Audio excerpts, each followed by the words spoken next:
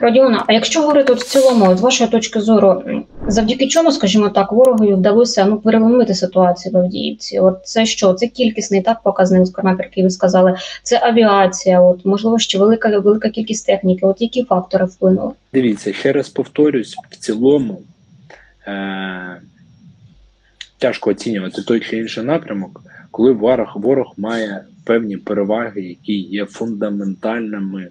Е, взагалі е, перед нашою армією. Це велика кількість, велика кількість особового складу сили, велика кількість засобів. Це як і техніки, так і артилерійських засобів, так і боєприпасів.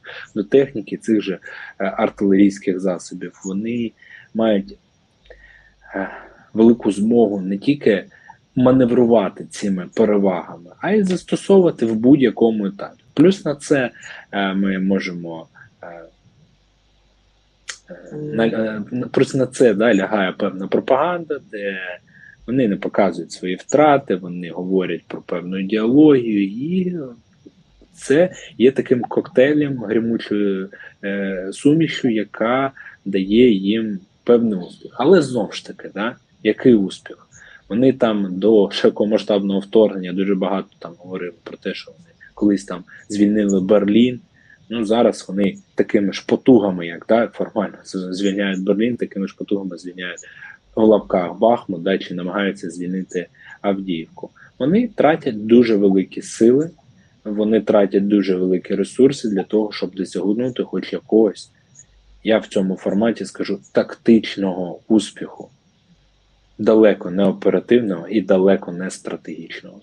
Тому працюємо і знову ж таки розуміємо, якою ціною нам навіть такі досягнення даються. Ви сказали про тактичний рівень та дій ворога. Скажіть, будь ласка, чи правильно я розумію, навіть якщо складеться так, візьмемо найгірший сценарій, що відбудеться так наш відхід наших військ з Авдіївки. Тобто, в стратегічному плані ворогові це нічого не дає. Я уточнюю.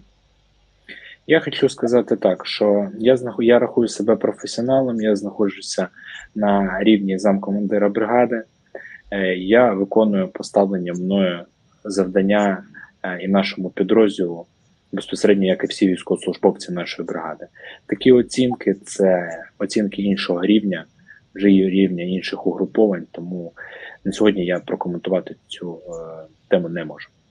Дякую, Радіонова. Прошу тоді вас прокоментувати офіційну заяву бригади. От, зокрема, офіційне повідомлення по по 60 авіаційних бомб у день і вночі ворожі обстріли з артилерії та РСЗВ, безперервні штурми на броньованій техніці та навали піхоти противника. Окупанти застосовують фосфорні снаряди, отруйний смог розповсюджується всією територією заводу. Станом на зараз це новий дім третьої штурмової. І запитання нічого не нагадує.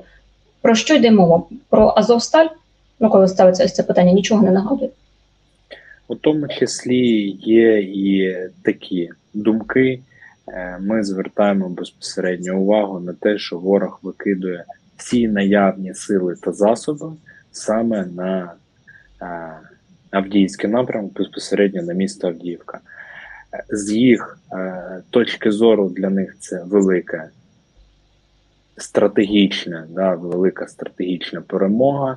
З їх точки зору вони готові за цю в лапках да, перемогу віддавати такі, такі, такі ресурси і сили. Як це було безпосередньо в Маріуполі, якщо можна це зрівнювати?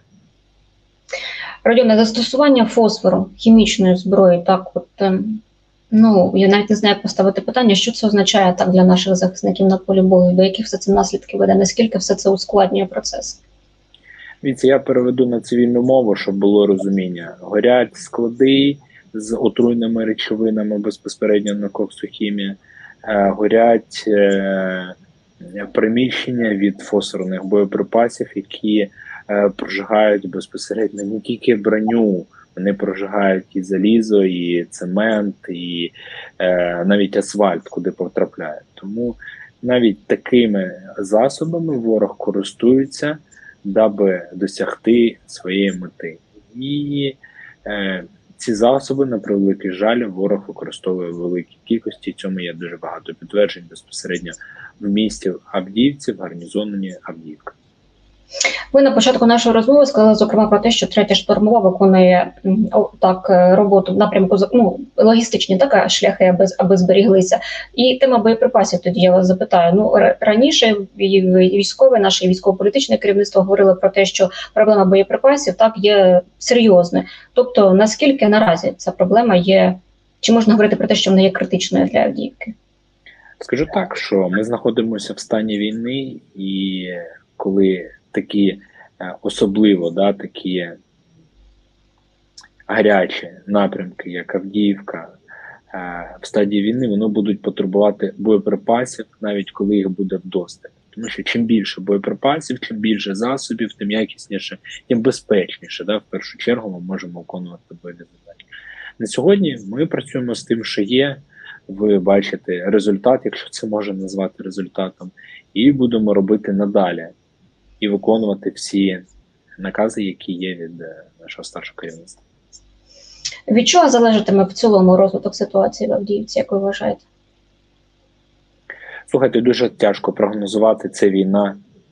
Е, На війні все можливо, е, тому будемо працювати і хочеться сказати, щоб цивільні вірили в нас, вірили в те, що ми все робимо правильно, і ми зробимо так, щоб як мінімум нанести максимальне враження ворогу і зробити так, щоб ворог зупинився. Авдіївка для ворога політичну мету має. Так точно. Скажіть, будь ласка, Родіоне, от начальник штабу Азова Кротевич, він, скажімо так, розкритикував тактику наших військових в Авдіївці. Він каже про те, що не можна битися лоб по лоб, а треба було бити по флангам. Ви щось можете про це сказати чи ні? Моя задача і задача мого підрозділу зараз виконання того наказу, який нам поставили.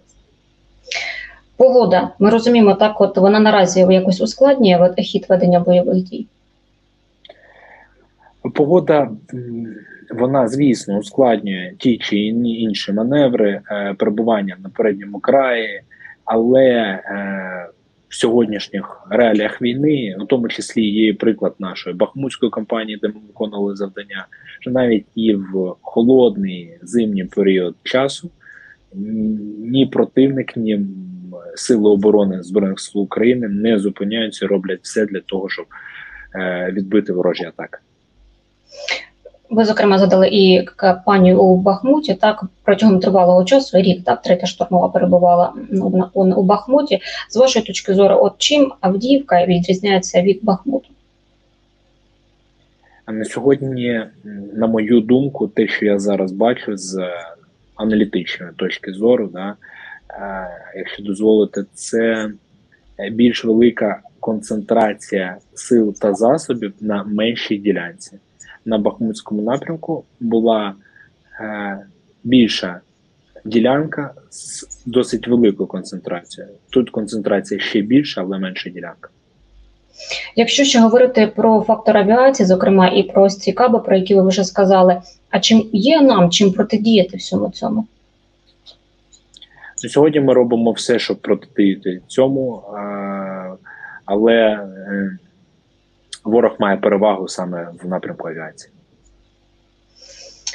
Скажіть, будь ласка, якщо дозволите, прошу вас все ж таки кілька слів буквально прокоментувати ситуацію в Бахмуті, тому що головнокомандувач збройних сил України Олександр Сирський говорив про те, що там ситуація є складною. Він говорив про те, що ворог розвиває свій наступ так на часі. Я от з вашої точки зору, тут від чого все залежатиме? Е, Дуже знову ж таки тяжко прогнозувати. Е, Будемо робити все для того, щоб нанести ураження ворогу, зупинити ворога. На сьогодні всі ці заходи, як я сказав, більше 12 діб в нас виходять успішно. Скажіть, будь ласка, а от е, Куп'янськ, якщо ми візьмемо знову ж таки, там останніми днями інтенсивність трохи зменшилась. Як ви вважаєте, з чим це може бути пов'язано? пов'язана з тим, що безпосередньо ворог зараз е, хоче реалізувати свою політичну ціль і перекидає всі вільні резерви саме на Авдіївський напрямок безпосередньо в місто Авдіївку.